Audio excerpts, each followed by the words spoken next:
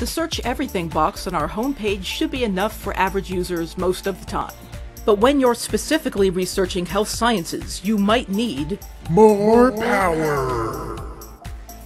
You see, the Search Everything box is actually searching many databases all at once. But some of these individual databases have special search limiters and other abilities. If you're studying nursing or health sciences, CINAHL Complete should be of use to you. By visiting the CINAHL Complete database directly, you can get access to special search limiters. This includes options like evidence-based practice, the type of research, journal subsets, the publication type, the patient age groups that the research involves, and publication date, among others. Once you have your search limiters set, you can go ahead and do a search, and you can refine your results on the left-hand side. You can click on a title to view an article, and it looks more or less like the other EBSCO databases, with article tools on the top right and full text links on the top left. CINAHL Complete also provides unique ways to search and browse content with the menu options at the top of the page. If we look under CINAHL's subject headings, we can search it like a thesaurus to find better subject terms to search on.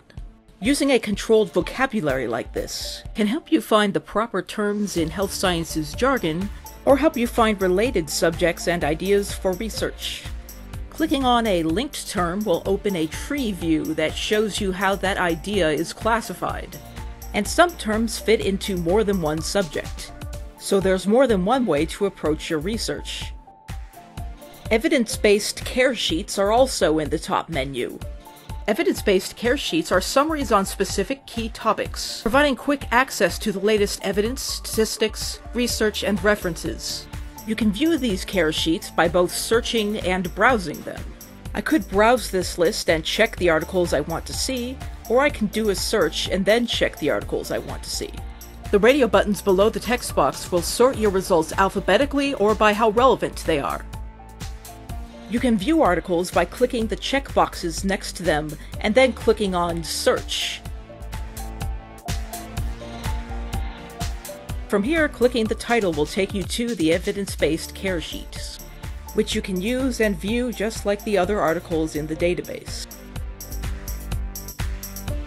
Back at the top of the main page, the More menu has more options, including quick lessons, which works the same way as the evidence-based care sheets, and an image search, which has some search limiters of its own.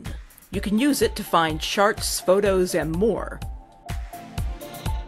So that's an introduction to CINAHL Complete. If you have any more questions about it, contact us at the Mercyhurst University Libraries. Thanks for listening.